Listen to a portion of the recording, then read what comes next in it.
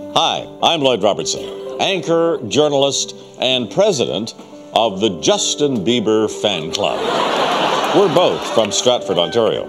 You can see us this summer in Shakespeare's masterpiece Romeo and Juliet. I played Juliet. Deciding whether to step aside after anchoring the CTV National News for 35 years was a very difficult decision. So I sought guidance from my most trusted advisor. So, should I stay or should I go? All right, good question, Lloyd. And as senior network sports commentator, I'll have to check with my panel of experts. I think it's a good idea to step down. All right. What are you, mimicking me? This is about Lloyd. All right, I agree. Well, there you have it, folks. Lloyd is indeed calling it a day. Thank you, I think. We love you, Lloyd. I'm confident my successor, Lisa LaFlamme, will carry on the high journalistic standards Canadians have come to expect from their CTV News anchor. And that's the kind of day it's been.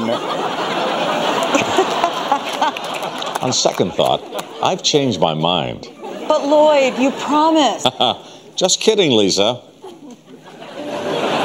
Over my career, I've covered some truly historic events Terry Fox's Marathon of Hope, the first Olympics on Canadian soil, and my personal favorite, the 1969 moon landing. Over the years, I've learned a trick or two.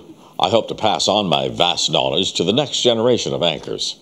And remember, project from the diaphragm. And that's the kind of day it's been. Not bad, not bad keep working on it. I'm honored viewers have welcomed me into their homes. And as a tribute to them, I've come up with a very special sign off that Canadians are really going to remember.